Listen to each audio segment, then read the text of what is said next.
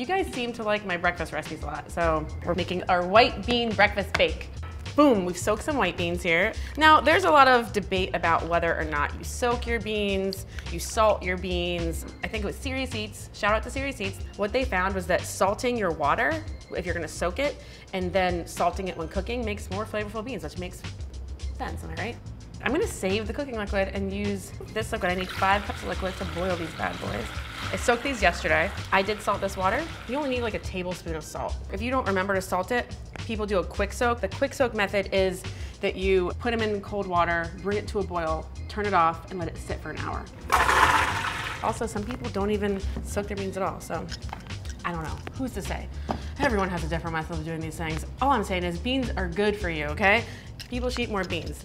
Well, that's a very good thing to eat for vegetarians.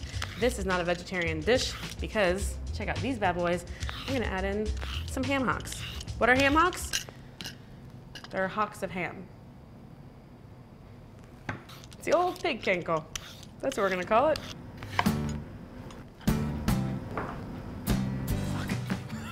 These beans are gonna cook for about an hour and 15 minutes.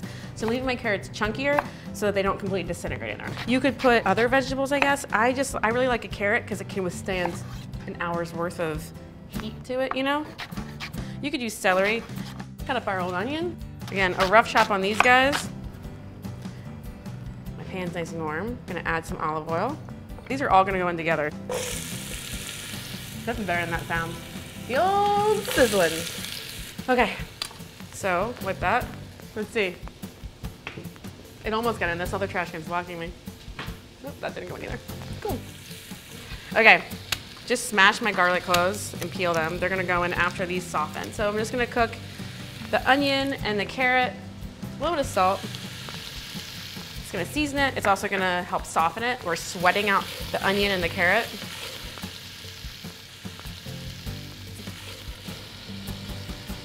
I'm tired of everybody out there always being like, oh, this bitch and all her cheese and dairy and stuff and blah blah blah.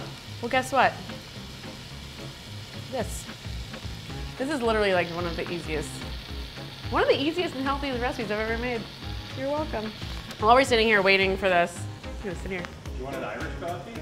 Mmm. Yeah, give me some whiskey in here. Ooh.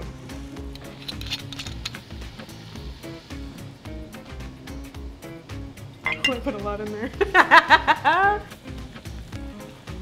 Ooh. Sicily. Or should we do a France now? France. That's the new word. I said, how many times did I say France before? That's the new one for this episode. Drink with me now. What time is it? 1013. Okay, so I'm gonna throw in my garlic, a couple cloves. I'm not slicing up my garlic when you get it after it's been roasted or as it were like it's stewed, it's boiled essentially in here. It's gonna be like nice and mushy and soft and just kind of very mellow and I just love that. If you're the lucky two people who get the chunk of garlic, take a shot. mm. These are nice and soft. Everything's kind of smelling really good. Gonna throw in some thyme. I think I call for four sprigs. I throw in more thyme every time I do this. Every time is more time. It's a good time. Okay? I love. See, you hear the hear the crackling? That's what I love about adding the thyme in right now. On the sprigs whole, fine. It's it's. Oh, it smells so good. I got a bay leaf. You get a. I'm gonna put this in here while I'm talking. You get bay leaves for your house for one stew and you don't use it again for three years, and those bay leaves lose all their pungency. But a fresh bay leaf, throw it in your stew. It's very mellow. I'm going to add in my ham hocks. This is gonna flavor the stock a lot. The bones and um, all the skin and everything add gelatin. It's gonna help thicken it as well. Add in all my soaked beans. And then five cups of liquid. This is my bean soaking liquid that has been seasoned with salt. You can use just plain water if you want also. We're gonna bring this to a boil.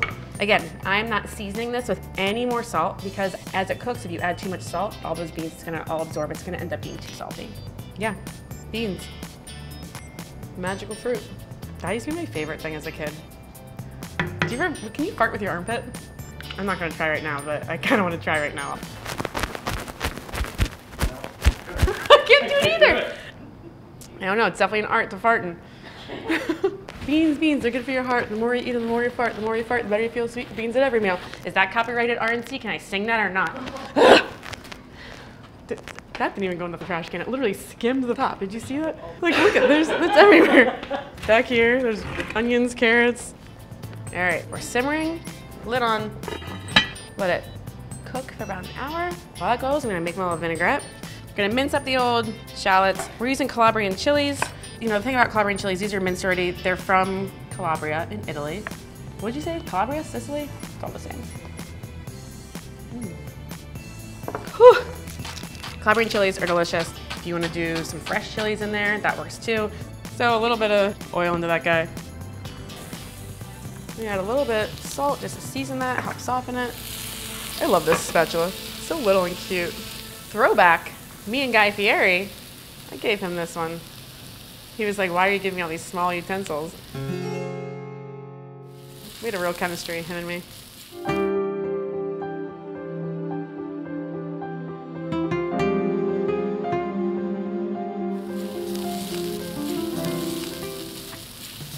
Okay, gonna add in my tomato paste.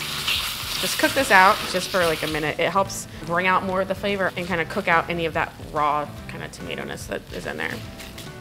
Turn off the heat. Add in our Calabrian chilies, our red wine vinegar. Oh, it smells so good. Vinegar in there, that's nice. Some olive oil, just to kind of thin it out a little bit, make it more of like a vinaigrette. This is a really beautiful vinegary little hot sauce. Sicily. Now, we've got this. It's been an hour and 15 minutes. Remove the stems and the bay leaf. The ham hocks are like split, they're super tender. The beans are nice and creamy. They're falling apart a little bit. I'm glad of that because look how much thicker it is. It's thick, it's creamy. That's what she said. We're gonna pull these guys out, let that cool slightly. I'm gonna do some black pepper, a little bit of salt. I'm gonna pick the meat off. It's so crazy how like little meat ends up on these, but it's enough where you mix it in there and it's like fine. That's enough. Okay, so I'm just gonna roughly chop this, shred it a little bit. Once you mix it in there, it's like nicely dispersed. You can serve this as is like this, okay?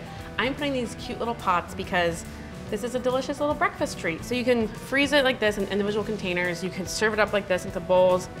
I live alone, whatever, but I do have a lot of, I entertain a lot of guests and things. I'm the kind of person I'll make a lot of stuff on like a weekend or whatever and then freeze it so that, you know, on the off chance I have a friend come over, I have something I can give them. We're gonna put an egg on it because we're kind of making this to a breakfast thing. This doesn't have to also be breakfast. This could be your lunch. This could be your dinner. This could be, it's your three meals, so I think I covered it.